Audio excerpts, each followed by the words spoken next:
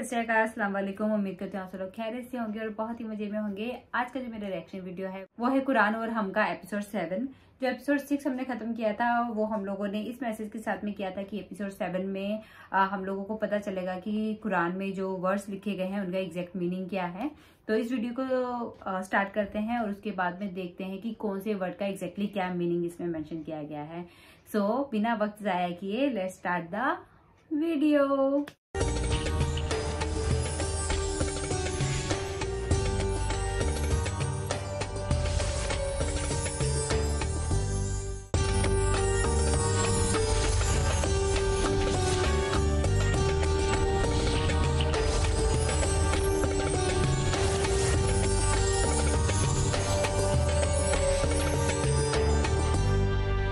अल्हम्दुलिल्लाहि रब्बिल आलमीन वस्सलातु वस्सलामु अला सय्यिदिल अंबिया'i वल मुरसलीन व अला आलिहि व सहबिहि अजमईन थुम्मा अम्मा बाद अस्सलामु अलैकुम व रहमतुल्लाहि व बरकातुहू अऊज़ु बिल्लाहि मिनश शैतानिर रजीम व अस्बह फुआदु उम्मी मूसा फारिगन इन कादत लतुब्दी बिही लौला अर्रबतना अला क़ल्बिहा लितकूना मिनल मुमिनीन रब्ब इश्रह ली सदरी व यस्सिर ली अमरी वहलुल उक़दतम मिन लिसानी यफ़क़हू क़ौली आमीन या रब्बल आलमीन कुरान का हर लफ्ज़ अपनी जगह पर बिल्कुल जैसा होना चाहिए वैसा ही है और अपनी जगह से हटाया नहीं जा सकता कुरान के कई अल्फाज ऐसे हैं कि वो दो मुख्तलिफ़ अल्फाज हैं, लेकिन उनका उर्दू में या किसी और ज़बान में तर्जुमा एक ही होता है। उसकी पहली मिसाल में जो आपके सामने रखना चाहता हूँ, वो है दिल की। दिल के लिए कुरान में लफ्ज़ कल्ब इस्तेमाल हुआ है और दूसरा लफ्ज़ फ़ुआद इस्तेमाल हुआ है। फ़ुआद भी दिल को कहते हैं, कल्ब भी दिल को कहते हैं। अगर फ़ुआद अरबी में इस्तेमाल हो रहा हो किसी आयत में, आप तर्जुमा उर्दू में पढ़ें तो क्या तर्जुमा निकलेगा? दिल। अगर फ़ुआद पढ़ रहे हो कहीं तो क्या तर्जुमा निकलेगा? दिल क्योंकि हमारे यहाँ मुख्तलिफ़ अल्फाज नहीं है एक ही लफ्ज़ है तो हम एक ही लफ्ज़ इस्तेमाल करते हैं। कुरान में क्योंकि ये दो अलग अल्फाज हैं तो लाजमी तौर पर इजतमा तफरक़ा अगर दो करीबी अल्फाज एक साथ ज़िक्र किया जाए उनका तो लाजमी उनका मकसद ये होता है कि उनमें जो फ़र्क है उसको हाईलाइट किया जा रहा है। उनके बारे में एक एक, एक तरह से तमीज़ की जा रही है कि ये लफ्ज़ और है ये लफ्ज़ और है। अच्छा। एक आयत है कुरान की, मूसा सलाम की, वालदा के बारे में रदी अल्लाह तहा उनके बारे में आयत है वह असबहा फ़ुआद उम्मी मूसा फ़ारिगन। मूसा सलाम की की वालदा को इल्हाम किया गया था कि आप अपने बच्चे को एक टोकरी में डालें और टोकरी को दरिया में फेंक दें। अब आप अंदाज़ा करें, एक माँ के लिए एक छोटे से बच्चे को, दूध पीते बच्चे को टोकरी में डालना और फिर टोकरिया को दरमिया दरिया में फेंकना, दरिया में आराम से नहीं डालना। अलकी ही फिलियम फेंको उठा के उसको दरिया में। फेंको उठा के। ये आसान काम है? It's almost impossible almost impossible अच्छा वो कर चुकी वो काम। किसी ना किसी तरह उनमें हिम्मत आई उन्होंने ये काम कर लिया। अच्छा अब क्योंकि दरिया है तो टोकरी एक, एक ही जगह रहेगी कि चलती रहेगी? चलती रहेगी और इतनी दूर जाएगी कि अब नज़र भी नहीं आ रही। अब उस वक्त का सीन बताया जा रहा है सूरह कसस में एक आयत में, वह असबह फ़ुआद उम्मी मूसा फ़ारिगन। मैं उर्दू में आसान तर्जुमा कर दूँ। पहले, मूसा की माँ का दिल खाली होता रहा। खाली हो गया था। इन कादत लतुबदी भी तकरीबन इस इस तक नौबत आ गई कि वो अपनी अपनी जो अपनी अपनी जो सीक्रेट है, सीक्रेट क्या कहते हैं? राज। अपना राज खोलने को तैयार हो गई थी। तकरीबन, यानी मकसद कहने का यह है कि अब बच्चा नज़र भी नहीं आ रहा, उनकी ऐसी हालत हो गई कि वो घर से बाहर निकल के चीखना शुरू कर दे, मेरा बच्चा मेरा बच्चा मेरा बच्चा। लेकिन उस पर नौबत नहीं आई, वो अपने आप को खामोश रख सकें। लवला और रबतना अला कलबिहा, अगर ये ना होता कि हम उनके दिल को रोके रखते। ये एक्चुअली लफ्ज़ी तर्जुमा होगा, बांधे रखते। रबता अलकल्ब रब्त कहते हैं बांधने को।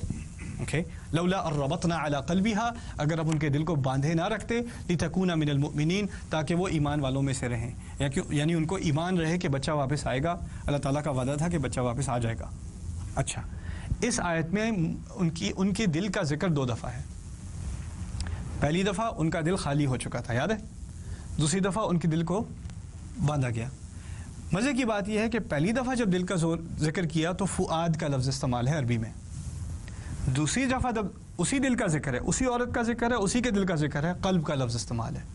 तो एक दफ़ा फ़ुआद और दूसरी दफ़ा कल्ब। उर्दू तर्जुमे में ये बात वाजी है कि नहीं?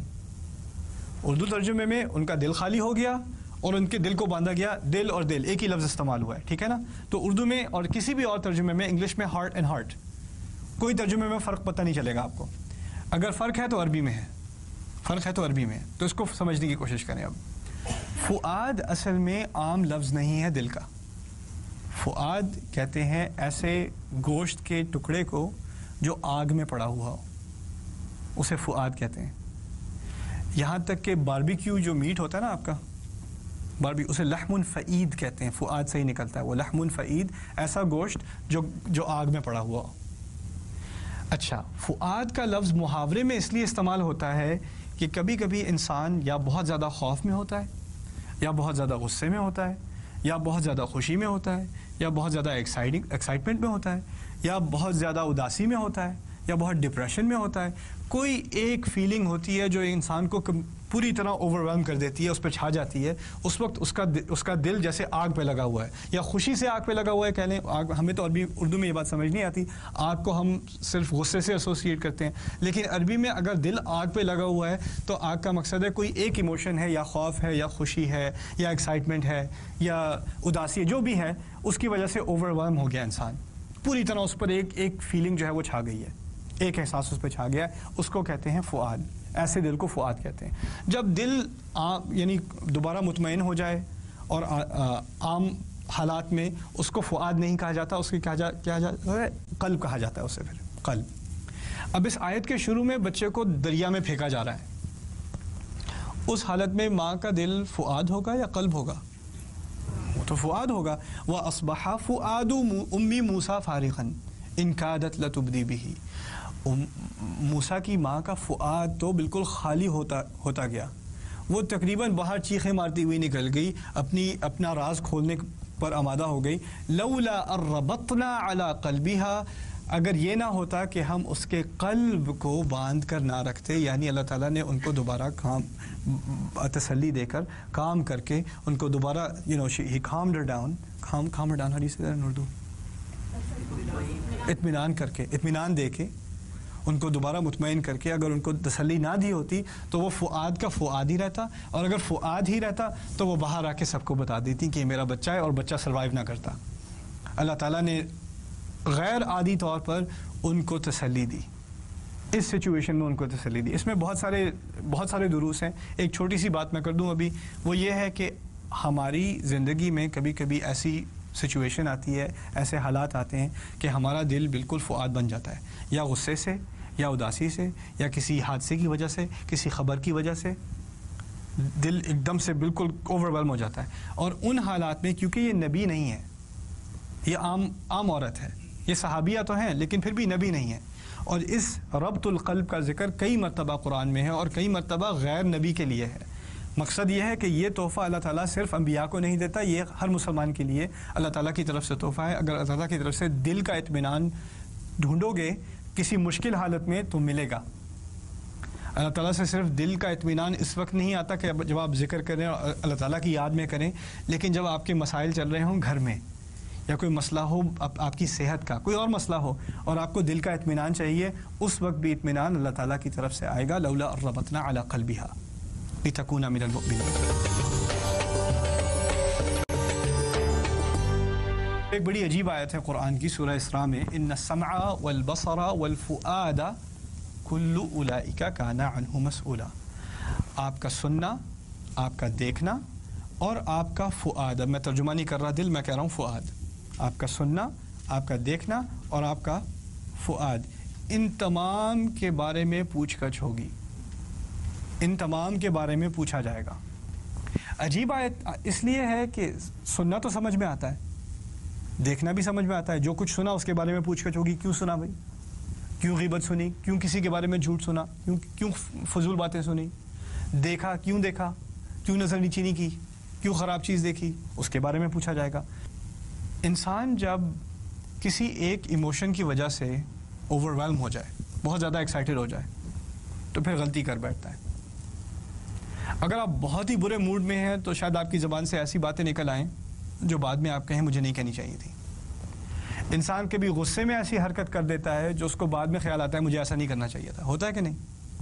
इंसान कभी डिप्रेशन में कुछ ऐसी बातें कर देता है, उदासी में कुछ ऐसी बातें कर देता है, या ज़्यादा खुशी में आपे से बाहर होकर कुछ ऐसी हरकत कर देता है, जो बाद में सोचता है, मुझे ऐसा नहीं करना चाहिए था। मुझे ऐसी बात नहीं करनी चाहिए थी। अब कुछ लोग ऐसे होते हैं, जिनका दिल बार बार फुआद हो जाता है। आप समझ रहे हैं बात? कुछ लोग ऐसे होते हैं जिनकी इमोशंस बहुत आराम से एक्साइट हो जाती हैं और वो आप से बाहर हो जाते हैं बिल्कुल छोटी छोटी बातों पे। जैसे हो सकता है आपके घर, आपकी फैमिली में कुछ ऐसे हजरात भी हैं जिनका गुस्सा बहुत और बहुत आसानी से ऐसे जल्दी से भड़कता है, पता भी नहीं चलता ये हुआ क्या। और फिर कुछ पाँच मिनट बाद दोबारा बिल्कुल आराम से जैसे कुछ हुआ ही नहीं। अच्छा ज़रा ज़रा चीनी तो इधर। अच्छा और बाकी दिन कैसा गुजरा तुम्हारा? अभी तो चीख रहे थे यार आप तो शीशे टूट रहे थे घर के। और अब एकदम से दोबारा बिल्कुल नॉर्मल जैसे कुछ हुआ भी नहीं। और कुछ लोग इससे बड़े कंफ्यूज घर में। यानी एक बाप है, उसको गुस्सा बड़ा आता है, बेटा घर में आया, बेटा घर आते के साथ ही, तुम ऐसे निकम में तुम तो ये, तुम तो वो। और चीख पुकार शुरू। बेटा 18 साल की उम्र होने के बावजूद उसकी आँखों में आँसू आ गए कि ऐसी ऐसी बातें सुनने को मिल रही हैं। फिर माँ जाके बेटे को तसल्ली देती है, कहती है, देखो, तुम्हारे अबू कभी कभी ऐसे हो जाते हैं। वो असल में ऐसे नहीं हैं, बस कभी कभी हो जाते हैं। कोई बात नहीं। ये उनका कल्ब नहीं है, ये बस उनका फुआद है। आप समझ रहे हैं बात? तो लोग उसको जस्टिफाई करते हैं, कहते हैं, देखो, मैंने हाँ मैंने गुस्से में कुछ कह दिया था, लेकिन वो मैं नहीं था। वो तो बस मैं कुछ, मुझे कुछ हो जाता है। जब मुझे गुस्सा आता है, मुझे कुछ बस हो जाता है। आपके बच्चे कहेंगे I didn't mean it mom that was me this is me you know होता है कि नहीं? फिर लोग क्या करते हैं? लोग ये, इसको एक तरह से एक एक्सक्यूज़ बना लेते हैं कि देखो, मैंने जो गुस्से में बात की थी, वो उसके बारे में आप मुझसे पूछकेछ नहीं कर सकते। जो मैंने डिप्रेशन में हरकत की थी, उसके बारे में मत पूछो। देखो, वो it was a special occasion वो कुछ बात आप से बाहर हो गई थी, लेकिन वो उसके बारे में वो बात दोबारा मत लाओ। देखो, वो एक गलती थी, वो हो चुकी। अल्लाह ताला इस आयत में बड़ी हिकमत से फरमा रहे हैं, देखो जिस हालत में तुम अपने आप को कहते हो कि देखो, उस बारे में मत पूछो, उस वक्त मैं गुस्से में था, वो और बात थी। उसके बारे में मुझसे कोई इंटरोगेशन नहीं हो सकती। उसी के बारे में ख़ास कहा इन समा वलबसारा वलफ़ुआद क्योंकि लोग उसी को मिसाल बनाते हैं। उसी के पीछे हटते हैं कि देखो, जब एक दफ़ा इस तरह की सिचुएशन हो जाए, मैं फ़ुआद बन जाऊँ, मेरा मेरा कल्ब फ़ुआद बन जाए तो फिर उसके बाद मत पूछो। मुझे नहीं पता। मुझे नहीं पता। और तला फरमाते नहीं नहीं, तुम्हें पता है। अच्छी तरह है और पूछ पूछ कर पूछ गछ होगी और उसी के बारे में होगी। यहाँ तक कि जदीद कोर्ट रूम में यहाँ पर अमेरिका में भी इस्तेमाल होता है, पता है? द साइकोलॉजी ऑफ़ फुआद इस्तेमाल होती है। कहते हैं कि कोई पुलिस कोई हाईवे पे निकला हुआ है, कभी शो देखा है खॉप्स हाईवे पे निकला हुआ पकड़ा नहीं जा रहा, उसके बाद रेस कार है, पुलिस वाले बेचारे पीछे रह जाते हैं, हमेशा पकड़ नहीं जब तक उसकी गैस ख़त्म ना हो जाए। अब उसकी गैस ख़त्म हो गई फिर पुलिस वालों ने आके उसको पकड़ा, गाड़ी से बाहर घसीटा, फिर खूब पिटाई की और ऊपर हेलीकॉप्टर से कैमरा, सारी चीज़ें देख रहा है। अब उसको सू किया जा रहा है पुलिस को कि पुलिस पुलिस पुलिस वालों ने इसको मारा है पकड़ के तो पुलिस ब्रुटैलिटी अब उसको सू किया जा रहा है। अब पुलिस वाले डिफेंस में आके कहते हैं, उसका साइकोलॉजिस्ट आके कहता है कि जब हाई स्पीड चेस हो रही होती है ना, लोग बड़ी स्पीड में ड्राइव कर रहे होते हैं तो एड्रेनलिन बहुत ज़्यादा होता है जिस सिस्टम में, उससे ज़्यादा एक्साइटमेंट हो जाती है। असल में उसकी पिटाई पुलिस वाले ने नहीं की थी। उसकी एड्रेनलिन एड्रेनलिन ने पिटाई की थी। उसकी फुआद ने पिटाई की थी। कल्ब ने नहीं की थी। इसलिए आप उसको जेल में नहीं डाल सकते। तो ये एक्सक्यूज़ इस तरह की माजरत अब कोर्ट रूम में भी इस्तेमाल होती है। और अल्लाह ताला फरमा रहे हैं इन न समा वलबसरा वलफ़ुआद इसका एक और इसकी एक और मैनिफेस्टेशन क्या होती है? कहीं कहीं जलजला आया, या सैलाब आया, या कोई यू नो अनरेस्ट हुआ तो लोग क्या करते हैं? आम आदमी। आम तौर पे बिल्कुल आम आदमी है यानी स्कूल टीचर है अकाउंटेंट है, जो भी है, जब एक दफ़ा दुकानों की तोड़ फोड़ शुरू हुई और लोगों ने गाड़ी यू नो गाड़ियाँ लूटनी शुरू की और दुकानों में से टीवी उठा के ले जा रहे हैं स्कूल टीचर आम आदमी। पागल नहीं है वो? बिल्कुल सीधा साधा इंसान है। उसको भी देखें कैमरे पे क्या कर रहा है।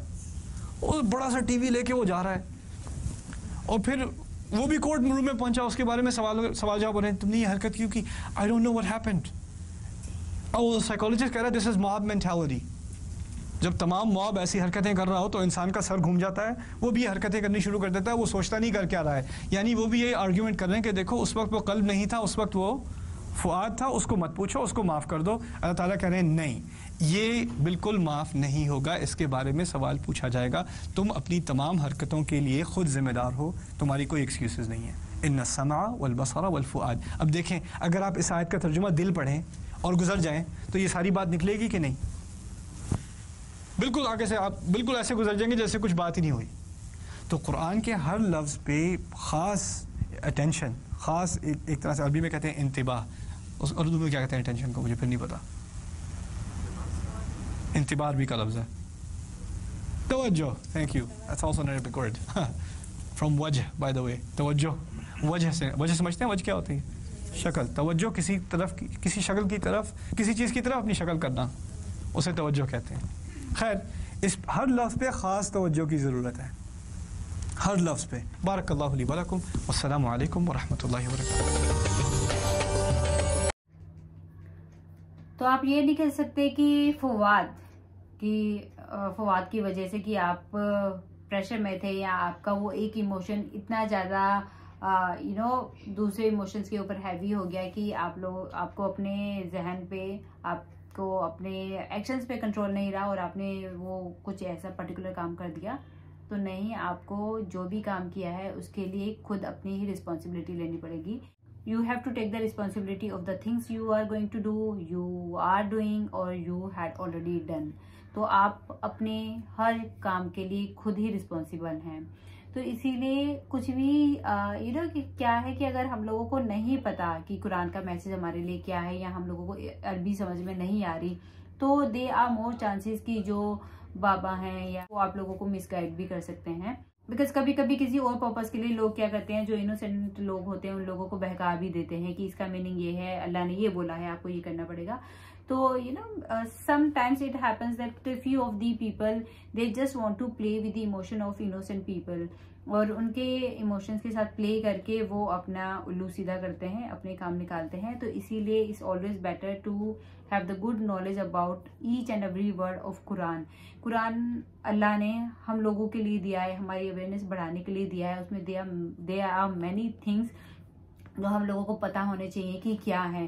क्योंकि अगर अगर सारे वर्ड्स एग्जैक्टली पता है तो हम लोग कभी भी किसी को भी आंसर कर सकते हैं। उससे हमारी नॉलेज इतनी ज़्यादा बढ़ जाएगी कि we always will be ready with all the answer Quran Quran is not a science book but there are many things जो आज के टाइम पे भी साइंटिस्ट ने भी प्रूव कर दिए हैं कि वो बिल्कुल ठीक लिखे गए हैं कुरान में। तो इसीलिए इतनी अच्छी बुक की इंटायर और थोरो नॉलेज होनी बहुत ज़रूरी है और उसके हर वर्ड का एग्जैक्ट मीनिंग भी आपको पता होना चाहिए। तो आज की वीडियो को यहीं पे ख़त्म करते हैं और मिलते हैं फिर next video episode number eight में। तब तक के लिए बाय